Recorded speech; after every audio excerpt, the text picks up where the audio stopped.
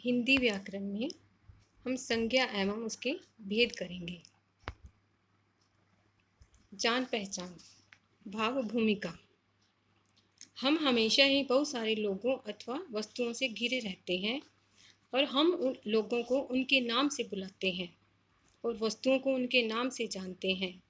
हम ऐसी किसी वस्तु या व्यक्ति की कल्पना भी नहीं कर सकते जिसका कोई नाम न हो। जिससे हमें यह ज्ञात होता है कि नाम की किसी वस्तु या व्यक्ति के लिए कितना ज़रूरी होता है। यहाँ हम जानते हैं कि हर एक वस्तु, कोई भी जीव जंतु है या वस्तु है, उसका कोई ना कोई नाम होता है। बिना नाम की कोई वस्तु या जीव जंतु नहीं होते। तो किसी व्यक्ति या वस्तु के नाम को ही संज्ञा कहा जाता है। संज्ञा की परिभाषा। संज्ञा की परिभाषा जानने से पहले इन वाक्यों को ध्यान से पढ़ो। सबसे पहले है, मैं भारत का वासी हूँ। दूसरा है, यह गुलाब का फूल है।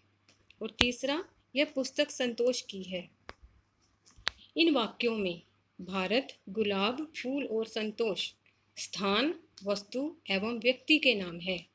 इसकी, इसलिए इस उदाहरण के अनुसार, किसी व्यक्ति, वस्तु, स्थान अथवा भाव आदि के नाम को संज्ञा कहा जाता है।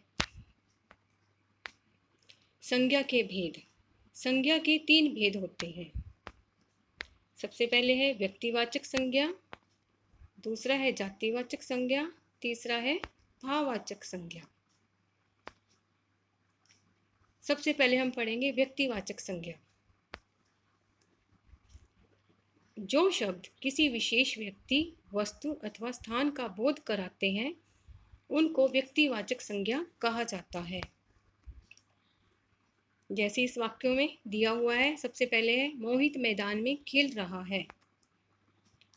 दूसरा वाक्य है, लड़की आराधना पुस्तक पढ़ रही है।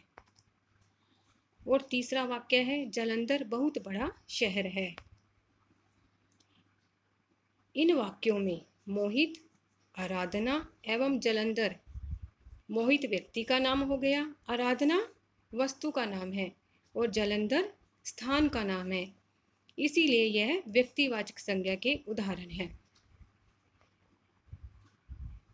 दूसरा भेद है जातिवाचक संज्ञा।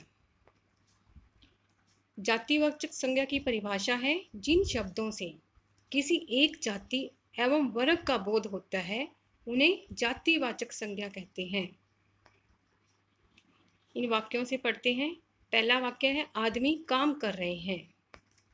दूसरा वाक्य है बच्चे स्कूल में पढ़ते हैं। और तीसरा है, इस जंगल में बहुत जानवर हैं। तो इन वाक्यों में आदमी, स्कूल एवं जानवर, आदमी समूह को दर्शा रहा है।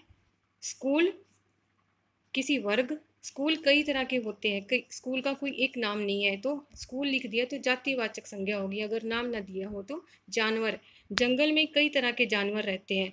तो सभी जानवरों सभी को हम जानवर ही कहेंगे। वो समूह में आ जाते हैं। तो ये वर्ग को दर्शाते हैं। इसीलिए ये जातिवाचक संज्ञा के उदाहरण हैं। तीसरा भेद है भाववाचक संज्ञा।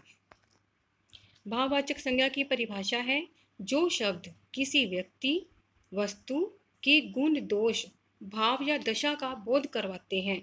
उसको भाववाचक संज्ञा कहा जाता है। इसमें भाव का अर्थ है, जिन चीज़ों को हम महसूस कर सकते हैं, देख नहीं सकते, वो भाववाचक संज्ञा होती है। जैसे, पहला वाक्य है, कृष्ण और सुदामा की मित्रता अटूट थी।